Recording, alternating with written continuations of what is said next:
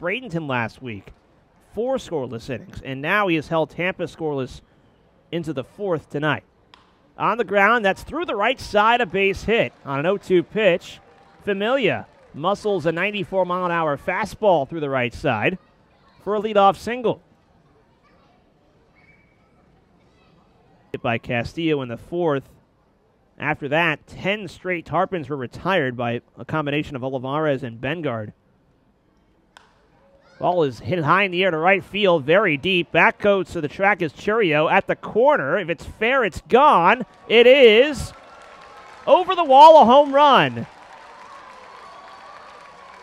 It's 314 down the right field line. I think it may have gone 314 and a half. But it's a home run. Familia in his first game back with the Tarpons. Out to right field. A high fly just over the wall.